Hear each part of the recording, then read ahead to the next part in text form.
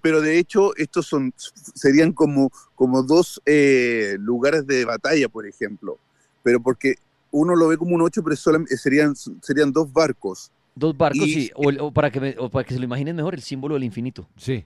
El símbolo del infinito, exactamente. Como, pero con, como con punticas a los lados. Exactamente. Sí, así es. Y acá tienes más, pero ya son más pequeños.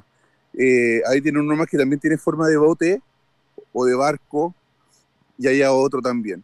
Eh, el por qué le daban esa forma, no lo sé. Me imagino que también tiene que ver algo, algo ritual, de rituales. Los eh, montículos es uno que está allá, allá hay otro, ahí al fondo hay más, hay, creo que hay dos más allá, porque no son tan grandes, porque, porque el, el importante era este, ¿no? El importante era este del rey Anú, donde estamos sobre, sobre este terreno. Ahora, preguntas, ¿por qué la lluvia no, no, no va disolviendo esto? Si era tierra más suelta en ese entonces, quizás también lo van mezclando con otros tipos de cosas, no lo sé, no, no lo sé, no, hay, igual hay preguntas que, que, a veces uno se puede hacer por la temperatura y por, los por, la forma que, de que se vive usualmente aquí en Suecia con menos 20 grados. Es bien interesante este recorrido que estamos haciendo hasta ahora, cuando son las 10.32 en Suecia, 5.32, en un cementerio vikingo. Machilean está en la parte superior de una tumba, de una cima, que es una tumba, y desde allí observo unas rocas que también, todo esto son tumbas, hubo miles de muertos acá, pero que hacen la forma de barcos. Ahí no sé si puede buscar pronto en internet a ver si encontramos el por qué el, hacer de las tumbas forma de barcos en los vikingos. No sé si tenga Sería buenísimo. No como Anun, no, no sé si tenga que ver como para después de la muerte, no sé, como eran navegantes, ¿no? Como su barco después de la muerte. Pero eso ya es invento mío, tampoco sé. Pero bueno, ya vamos a, buscar la información para darles a ustedes el dato. Y si alguien lo tiene, interesante, este, este, video va a quedar público ahí en la cuenta de Instagram, si alguien ahorita en los comentarios, y conocen mucho el tema vikingo, chévere eh, conocer más del conocimiento ¿no? de cada oyente que nos pueda brindar la información. Bueno, Machilán, observando ahí diferentes rocas a esa altura, es una altura interesante, lo que decía por unos cuatro o cinco pisos. Eh, no, sí, por lo menos, por lo menos súper alto. O sea, lo que te iba a comentar que una vez al año hacen un, un, encuentro acá de, de comunidades que, que, continúan memorando eh, la cultura vikinga, podríamos decirlo.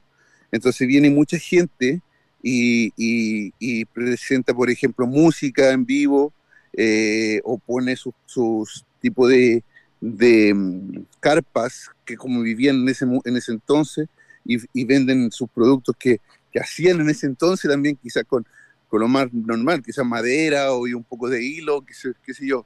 O sea, acá transforman este lugar a la época. Es maravilloso también eso. Yo, la verdad que me encantaría, voy a ver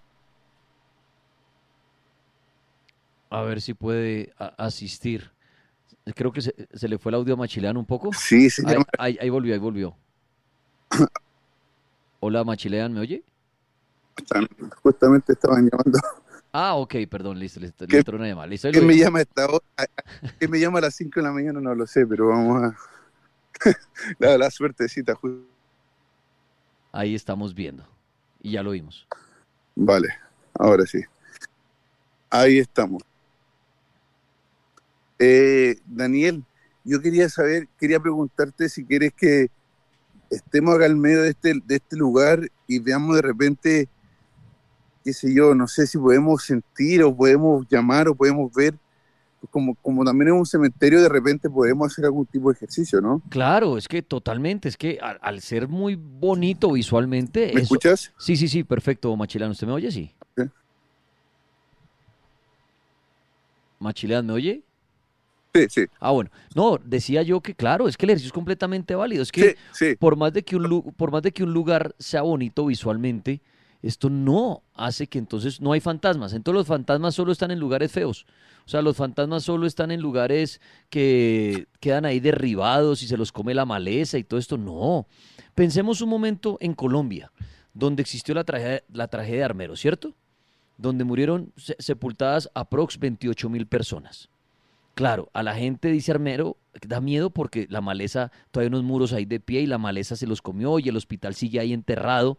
Entonces visualmente, y el cementerio también está destrozado, entonces visualmente dice, uy, ese lugar es aterrador y tiene que estar lleno de fantasmas. Y estamos hablando de una tragedia que ocurrió en el, año 85. Si nos vamos atrás, ocurrió ya hace muchas, eh, muchos años. Entonces, eh, vamos a este cementerio en Suecia, que es muy bonito, pero eso no hace que no haya fantasmas. ¿Por qué? Por más de que sea un lugar bonito, tiene que haber fantasmas. O, pues, para los que creen en los fantasmas. Entonces, hacer el ejercicio es completamente válido, Machilán. Estamos en un cementerio, estamos además en un lugar donde murió gente de manera violenta, gente torturada, gente sacrificada. Entonces, el ejercicio, claro, Machilán, adelante usted, como si estuviera en un cementerio aterrador, busque fantasmas, sonidos, alguna sorpresa nos podríamos llevar. Así es. Así es. Y también hay ojo a todos los que nos están escuchando, también de repente los audios no se, no se, no se pueden, eh, no se manifiestan cuando estamos aquí en vivo, pero sí a través del audio o la, eh, a través de la radio o del teléfono, de repente se escuchan cosas y sería bueno que después lo puedan comentar. Vamos a ver qué podemos, si es que podemos encontrar algo acá voy a empezar a preguntar. Claro. Eh, obviamente en sueco para ver si que, que hay algún algo que se pueda manifestar. Hey, finns någon här med mig? Är det du som har dök här? Bor du här? Hola, hay alguien aquí conmigo. Hay alguien que se pueda manifestar. Alguien que viva acá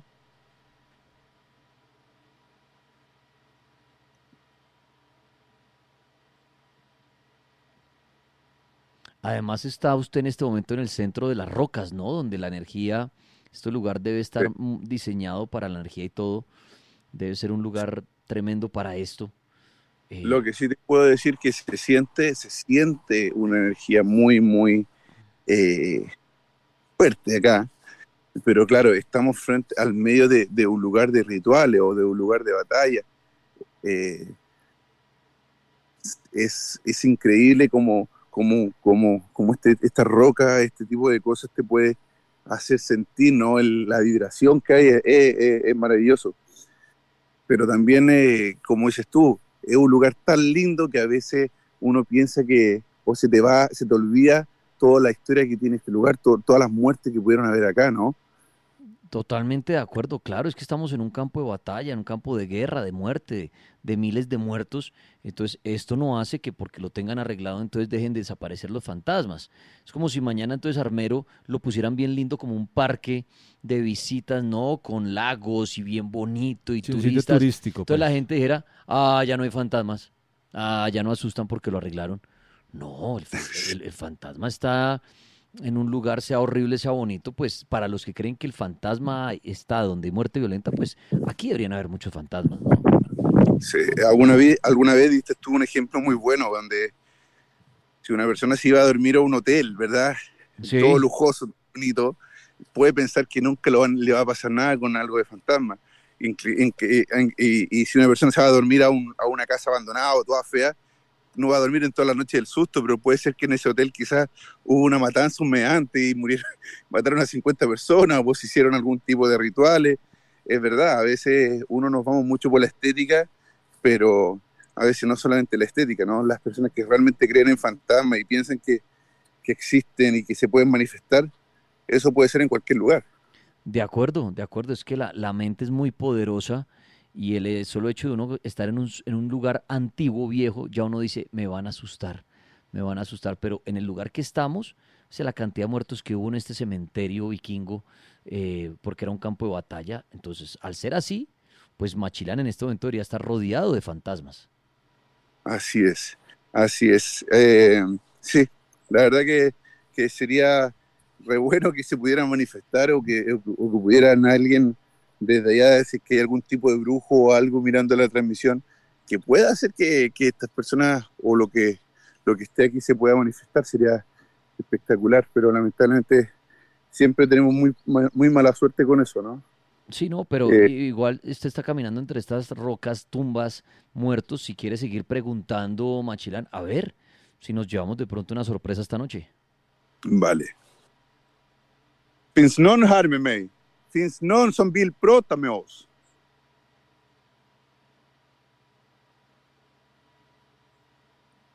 Har du dugg här? Har muerto du acá?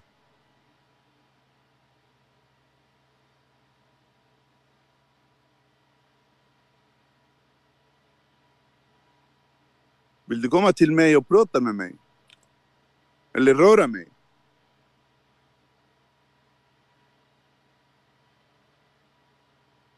¿Quieres venir para acá y hablar conmigo o tocarme?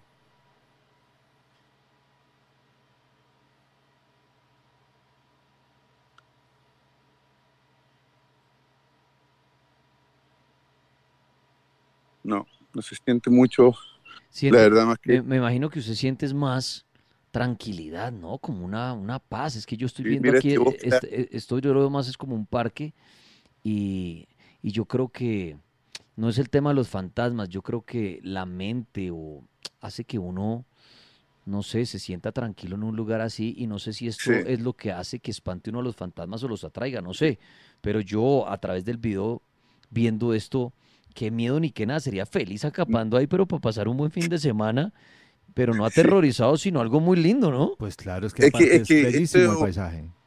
E- Eso, eso es lo, lo- lo más raro de, de todo esto, Daniel. Sabiendo que estamos en un lugar de, de- cementerio, sabiendo que, que no es algo que, que nosotros estemos diciendo que hay muerto acá, sino que está comprobado que, que es un lugar donde, donde se hicieron rituales y que si ustedes buscan y escriben el lugar de Anut Hug en, en internet, les va a aparecer un montón de información y les va a aparecer la historia completa de este lugar. Pero al estar acá, y ver algo tan bello y ver algo con tanta energía eh, es rarísimo, pero el miedo no existe. Y eso es, eh, es una contradicción, ¿no? De tanta muerte a una tranquilidad, eh, es una contradicción súper fuerte. Totalmente de acuerdo. O sea, es que traten ustedes de hacer el ejercicio de los que lo están observando, ¿no? Imagínense, traten de visualizar lo que pasaba allí hace muchos, muchos, muchos años. Imagínense ustedes ahí, la gente ahí tirada, agonizando, sin una pierna, eh, degollada, sangre, eh, niños, porque estamos hablando de niños además, no estamos hablando de guerreros todos de 50 años, no. Niños ahí llenos de flechas, hachazos. Entonces traten de visualizar lo que sucedió en este campo, en el que estamos en este momento parados. Traten ustedes de imaginar esto. Claro que ahorita está muy bonito, pero los que creen en el tema paranormal, los fantasmas siguen ahí. Y ahí deben haber niños sufriendo, penando. Imagínense la, la- la- manera en que murieron. Pero, pero es un buen ejercicio, es un buen tema de debate. ¿Será que los fantasmas, eh, qué pasa? ¿Se quedan en lugares que para el ser humano les da miedo? ¿Será que el fantasma juega con eso? ¿Será que el fantasma dice, ah, no, este lugar está muy bonito, yo no me quedo aquí? ¿O el Sí. fantasma se va a los lugares feos, como para decir, ah, me Sí. siento más cómodo acá? No lo sé. Claro, Claro, porque si este lugar le, le- le ponemos noche y, y ponemos un par de fogatas en algunos lugares, quizás se hubiese visto más tenebroso y claro, eh, ahí podríamos pensar que sí hay fantasmas. Es muy cierto lo que tú dices. A veces nosotros interpretamos o, o asociamos el, el terror con lo feo, ¿no? Con, como- con- con la estética.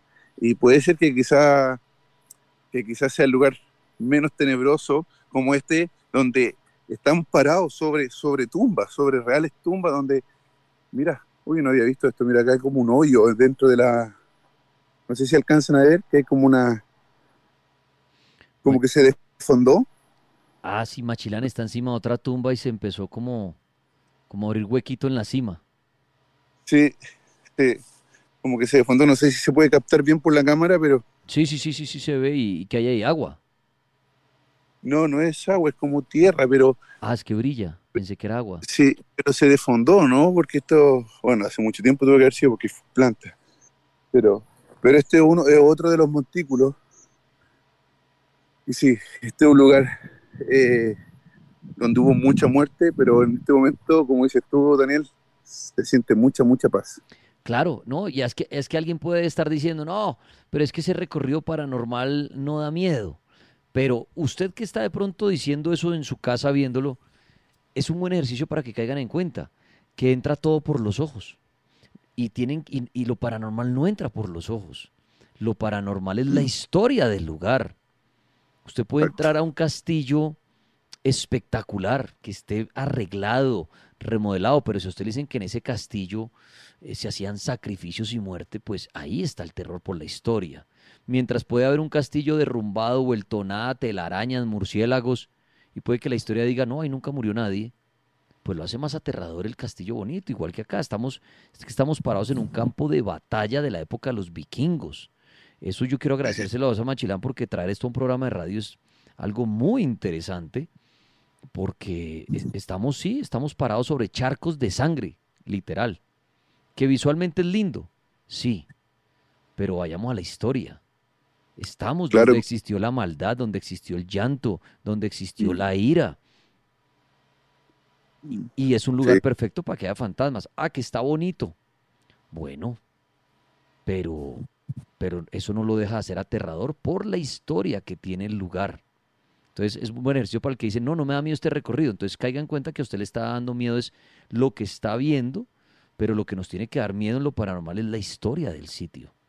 A mí me pueden invitar mañana a hacer un recorrido en un penthouse último modelo, que sea divino, pero qué tal que uno le digan, hace ocho días mataron aquí a diez personas a tiros. Pues pucha, puede ser muy lindo lugar, pero la historia es lo que lo hace aterrador. ¿Cuántas fincas viejas hay caídas, pero no pasó nunca nada? ¿Por qué nos va a dar miedo? Si ahí no murió nadie, no mataron a nadie. Entonces pensemos, ese ejercicio sirve. Muy chévere, machilean. Siendo las 10 de la noche, 47 minutos, no sé qué más nos quiera mostrar de este cementerio vikingo o qué otro ejercicio quiera hacer antes de que nos den allá las 6 de la mañana. Bueno, no, eh, lo quería comentarte exactamente lo que tú dices, ¿no? Y alguna vez también Paul comentó en el, en el recorrido anterior de, de la ciudad de los, de, de, los duendes, que a veces estos lugares después ya se han convertido, están transformados para el turista, ¿no? Porque se convierte en un lugar turístico pero también por, por lo hermoso y por lo atractivo de la historia, de lo que pasó, de lo que sucedió acá. Acá estamos hablando donde por durante años y años se hicieron sacrificios humanos, donde la gente venía a matarse unos con otros por algún tipo de problema o, de, algo que no estaban de acuerdo, donde eran eh, sancionados por un tribunal vikingo y, quizás eh, llevados a la muerte por algo que a ellos no les pareció o por sus reglas. Y sin embargo, hoy, mil años después, estamos acá, todavía tenemos la suerte de que hayan o que, lo que, se haya mantenido y, llevárselo a ustedes, esto también es un regalo para, para nosotros que nos gusta la historia, porque no solamente lo paranormal, como dices tú, es el lugar feo o la casa abandonada donde no sabemos qué pasó en esa casa y se dice que quizás hubo una bruja que vivió acá. Acá hubo muerte, acá mataron. Este fue un lugar donde hubieron asesinatos, donde hubo tortura, donde hubo sacrificio. Y estamos parados acá. Y eso es lo hermoso de la historia y eso es lo que yo quería traerles también al cartel para que, para que otras personas que quizás a veces no pueden darse unos, viajes tan grandes hasta acá para poder conocer esto, lo puedan ver a través de, de las pantallas de, del cartel de la Mega en Instagram. Eso que usted dice, Machilán, es muy cierto, es muy enriquecedor uno poder tener la posibilidad, gracias a la tecnología, de conocer lugares maravillosos. Alguien me decía hoy en los comentarios de Instagram, decía, ay, pero ¿por qué Machilean siempre? Y no es que Machilean sea siempre, lo que pasa es que no han llegado más oyentes que quieran hacer este tipo de ejercicios. Yo por eso siempre lo invito a usted, que me está oyendo en algún lugar del mundo, así que usted de pronto dice, mire, Dani, estoy en Nueva York y puedo ir al cementerio de Sleepy Hollow, por ejemplo eh, y lo hacemos. Obviamente hay unos requisitos que es tener buen internet y que usted no va a tener problemas legales por entrar a un sitio. Que usted diga, no, me metí a un cementerio en las 2 de la mañana y me echaron bala. No, no, no, pues obviamente usted averigüe primero si es un parque público, si puede recorrerlo, eh, si es propiedad privada, qué permiso pedir. Y podemos hacer el ejercicio. Entonces no es que se machilean que yo, ay, no el consentido. No. Si de verdad nuestro correo nos escribe alguien en el mismo Instagram, hey Dani, tengo acceso a un cementerio. Aquí hemos recorrido cementerios en la China Hemos mm. estado en diferentes lugares de España, hemos estado en México, en Estados Unidos, en Canadá con oyentes. Entonces usted que me, está oyendo, me está viendo hasta ahora, si tiene un lugar de verdad que tenga acceso, nos escribe, hey Dani, mire, yo vivo en Rusia, en tal parte de Rusia y puedo caminar por tal parte y cuadramos el horario y nos, y nos hace viajar y conocer la historia que es muy chévere y de paso hacer un recorrido paranormal. Entonces, lo que Machilean, que le encanta esto, pues siempre le agradezco mucho porque es una persona que se desplaza dos horas, una hora, tres horas, para llevarnos a lugares que están cerca a la ciudad donde él vive. Y usted también puede hacer eso en su país. Acá en Colombia no lo hacemos mucho, el cartel no lo mucho porque necesitamos unos permisos muy complicados. Yo no me puedo, voy a poner ejemplo, yo no me puedo parar hasta ahora en el puente Boyacá a buscar fantasmas, porque van a decir, venga señor, ¿y el permiso quién se lo dio? Esto es un lugar que pertenece a tal, a tal institución, a tal gobierno, y cuando dice uno que uno va a buscar fantasmas, ahí le dicen, vete, por favor. Claro, hay gente que puede hacer un live desde su cuenta diciendo, venga a ver si oigo un fantasma en el puente Boyacá. Eso es diferente a cuando va RCN y va a la Mega y vaya hacia un programa. Necesitamos una cantidad de papeleo que la gente cierra las puertas. Estoy poniendo como ejemplo el puente Boyacá, no es que me la han cerrado allá. Adoro Boyacá. Pero estoy poniendo ejemplo porque también fue un campo de batalla, por eso me vino a la, a la mente. Pero ustedes de pronto en otros países la gente es más abierta a esto. Hay cementerios abiertos, hay lugares históricos abiertos, como dice Machilán, esto es un lugar público, está abierto. Puedo caminar por acá, contarles la historia y no pasa absolutamente nada. Entonces, ojalá entre todos los oyentes del cartel a nivel mundial ya estuvimos en el Bosque de los Suicidas, en Aokigahara, también buscando fantasmas. Entonces, si usted tiene ese acceso, le gusta lo paranormal, escríbanos un correo, elcartel.lamega.com.co o en los comentarios de Instagram o en mi Instagram, en Dani Tres Palacios o Paul Urrego. Venga, venga, yo quiero hacer un recorrido, locos. Tengo permiso, estoy en Holanda, estoy en Italia, estoy en Francia, estoy en Inglaterra y viajamos por todo el mundo buscando fantasmas. Machilean, su conclusión de este lugar eh, ay, me atoré, espectacular. Eh, sí, eh, quería solamente comentarte nuevamente, eh, sobre eso, lo que tú dices también de, los recorridos. No es que yo solamente haga recorridos, sino que ha pasado una, ah, y ha pasado algo súper raro, Daniela, y cuando estábamos en pandemia había muchos recorridos de mucha gente, y ahora que se puede salir a todos lados, la gente ha dejado de hacer recorridos. Los invito, los invito a hacer recorridos para la Mega, para que ustedes también puedan vivir el miedo, puedan mostrar los lugares que ustedes conocen y, es súper es súper simple, como dice Daniel, es mandar el correo y hacer los recorridos, porque sería precioso también que otras personas puedan mostrarnos lugares que, y, recorrer lugares tenebrosos. El lugar, Daniel, un lugar maravilloso, un lugar lleno de historia, un lugar que, que, que, está lleno de, de, información también. Si quieren conocer en internet, pueden buscar y pueden buscar esa información con el nombre del lugar donde van a saber la historia del, del, eh, eh, del, rey que murió, del rey vikingo, de, por cuántas personas o cómo se hacían los sacrificios en este lugar, los invito a buscar la información porque es maravillosa.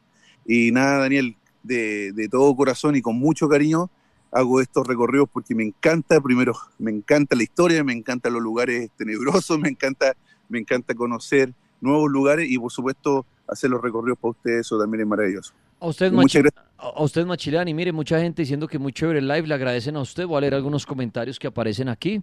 Eh, me preguntan si el live va a quedar guardado, sí, ahorita queda público ahí en nuestra cuenta de Instagram. Gracias a la Mega y a ti, Chris, dice Tatiana. Eh, dicen acá también, gracias por llevarnos a conocer Machilean, abrazos de, de Cata, dicen acá. Excelente historia, el recorrido fue muy bueno, dice J. GP98, gracias, dice Lumbi Estrella. Excelente, dice Alirio, muy buen recorrido, dice Joseph Soto. Excelente recorrido, dice Cárdenas. Eh, tiene que volver al lugar donde encontraron una vez unas bicicletas raras, dice Ernesto. Eh, sí, ese día nos dio miedo, pero lo real, ¿no? Que hubiera por ahí alguien extraño. Una un asesino serial. Julián David, saludos, excelente trabajo, saludos desde la Mega, desde Cúcuta, dice Nixon. Gracias, dice Fernando Alberto García. Excelente, dice Ciro Jorge. Gracias, hermoso, le manda a decir Lucero, muy bueno, dice César. Gracias por compartir un poco de conocimiento, dice Ayam. Eh, me encanta, dice Nixon. Sí, de verdad, Machilán, quiero dar las gracias de parte de los oyentes y aquí, de Paul y yo, porque llevarnos a viajar a lugares que de pronto al, nunca estaremos en la vida, pero alguna vez diremos, yo lo vi en vivo en una transmisión y conocí este lugar, pues es gracias a usted. Pues Machilán, muchas gracias y estaremos atentos de un próximo recorrido en algún lugar del mundo con usted. Estamos, buscando y ahora voy a viajar un poco, así que voy a aprovechar de, voy a vacaciones y voy a, a ver si es que en esa vacación encuentro algún lugar y obviamente te dejo saber enseguida. Gracias Daniel a ti por la oportunidad, a Paul también por, por, por, por eh, dejarme eh, mostrar estos lugares y por supuesto a, toda la gente de Colombia que me trata con tanto cariño y agradezco también esto que gracias a ti, gracias a ti comencé con todo esto y ya, van dos años de recorrido, así que yo estoy feliz, muchas gracias de verdad a ti y a, todo, a todos los del cartel de la amiga. Muy bien, a todos los que se conectaron, muchas gracias. Viene otra hora para el cartel paranormal, donde tendremos historias de miedo y también algunos aportes todavía acerca de los vikingos, que es lo que estamos hablando esta noche. Machilea, nos vemos en otra oportunidad. Chao, que estén bien. Y a todos los que se conectaron en live, los esperamos en nuestro canal de YouTube La Mega. Si quieren oír el programa, los esperamos en la aplicación La Mega Oficial o a través de su radio en Colombia. Una pausa y regresamos con más del cartel paranormal en esta noche.